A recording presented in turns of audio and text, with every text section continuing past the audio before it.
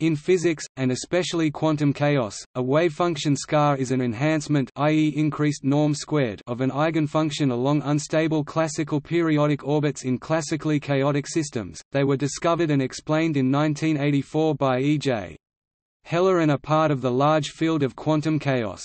Scars are unexpected in the sense that stationary classical distributions at the same energy are completely uniform in space with no special concentrations along periodic orbits, and quantum chaos theory of energy spectra gave no hint of their existence. Scars stand out to the eye in some eigenstates of classically chaotic systems, but are quantified by projection of the eigenstates onto certain test states, often Gaussians, having both average position and average momentum along the periodic orbit. These test states give a provably structured spectrum that reveals the necessity of scars, especially for the shorter and least unstable periodic orbits.